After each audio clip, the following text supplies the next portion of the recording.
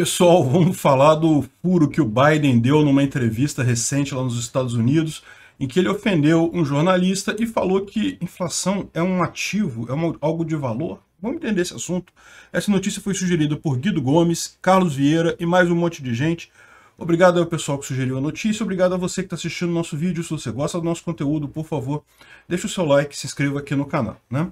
Pois, pois bem, está dando muito o que falar lá nos Estados Unidos, né? O Biden é, não percebeu que o, tele, que o microfone dele estava ligado, e no final de uma, de uma reunião, tá? teve uma reunião, uma, uma coletiva de imprensa, e você sabe que essas coletivas de imprensa lá nos Estados Unidos têm sido todas coreografadas, né? O Biden, ele já sabe quais jornalistas vão perguntar, ele já tem a resposta, tudo coreografado é, antes. Ele não deixa jornalistas fazerem perguntas espontâneas, principalmente jornalistas da Fox News, né?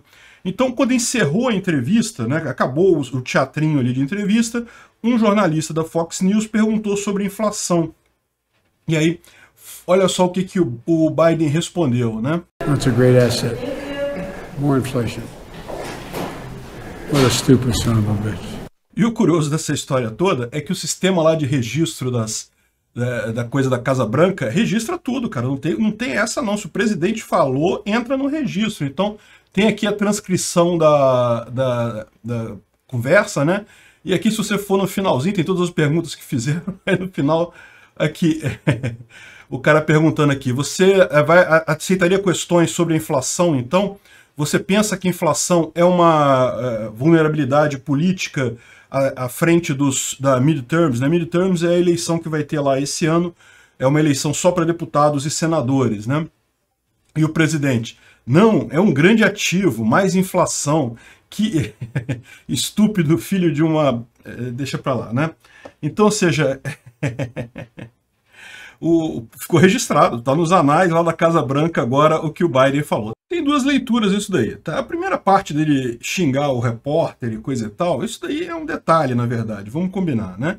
É, é, é, lógico que esse pessoal tem comentários nada lisonjeiros sobre repórteres que fazem perguntas difíceis, né? Até aí tudo bem. A única coisa que fica estranha aqui é porque o Trump, por muito menos do que isso, mas muito menos mesmo, foi chamado de é, ditador que está atacando a imprensa, está querendo acabar com a, a, liberdade de imprensa. Tinha um repórter da CNN lá, o Acosta, que ficava fazendo um monte de pergunta para o Trump e coisa e tal, e o Trump se recusava a ouvir ele, falava que não ia falar com ele e coisa e tal, e por isso diziam que ele estava atacando a liberdade de imprensa e coisa e tal, que absurdo. Será que a, a, a, imprensa americana vai lembrar de fazer a mesma coisa com o Biden, agora que a situação inverteu, né?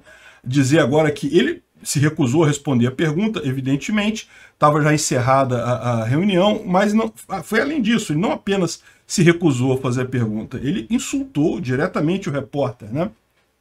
Enfim, é aquele negócio que é, a gente sabe qual é a questão, né? É, a gente sabe a, a, o peso desse negócio, a grande hipocrisia que há por aí. Como eu falo para vocês, é claro que a mídia quer muito mais é, socialismo, né? Ela vive disso, ela vive hoje em dia de ajuda do governo, ela não tem mais público por ela própria. Então ela tem que correr atrás de mais socialismo, de mais gente que queira bancar a própria mídia, né? Então, é isso daí, esse ponto é o ponto que eu acho menor. O outro ponto é o seguinte, Biden estava sendo irônico ou não? Porque uma leitura que você pode fazer dessa primeira parte aqui, não, é um grande ativo, mais inflação, é que ele estava sendo irônico, né? Lógico que inflação é uma coisa ruim é, para as eleições esse ano, todo mundo sabe que é.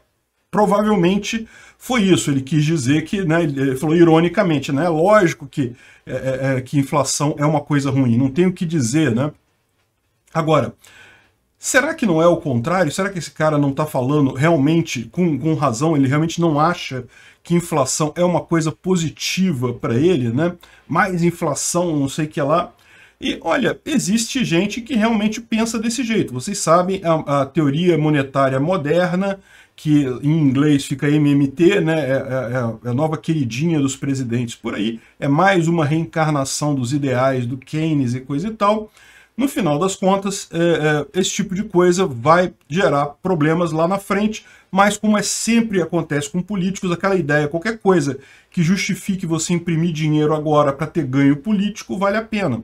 O que, que o Biden está tentando claramente com esses muitos pacotes de estímulo trilionários que ele está fazendo? Ele está querendo gerar uma bonança individual, ou seja, uma, uma bonança temporária, é, que foi o que o Lula fez aqui no Brasil no início dos anos 2000, se imprime dinheiro, dá dinheiro para todo mundo, a economia dá um boom, né? ela cresce muito rápido, porque justamente está todo mundo com dinheiro, é, todo mundo correndo atrás de fazer coisas novas, de investir, de comprar e coisa e tal, mas esse tipo de coisa gera efeitos muito ruins a longo prazo. Primeiro, é a inflação, evidentemente, no que você expande a base monetária, você já está gerando a inflação, né? isso vai causar aumento de preço mais adiante fatalmente, mas não só isso, esse excesso de liquidez todo acaba desarranjando toda a economia mais para frente, mas é aquele negócio, é mais para frente. É isso que esse pessoal se apoia no final das contas, fazer essa lambança toda para lá na frente colher os frutos, né? Então talvez o Biden não estivesse sendo irônico nisso daqui não, ele realmente acha que inflação é uma coisa positiva, ele quer inflacionar mais, pelo menos é o que dá a entender realmente, pelas ações dele, né? Embora aqui nessa frase possa parecer mais como uma... Uh, uma ironia, na prática, parece que as ações dele concordam com esse ponto que ele fala aqui. Obrigado por assistir o vídeo até o final.